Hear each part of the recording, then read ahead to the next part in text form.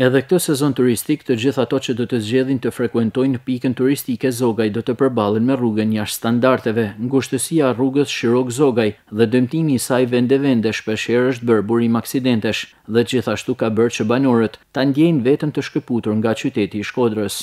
Po ngusht është, ngusht.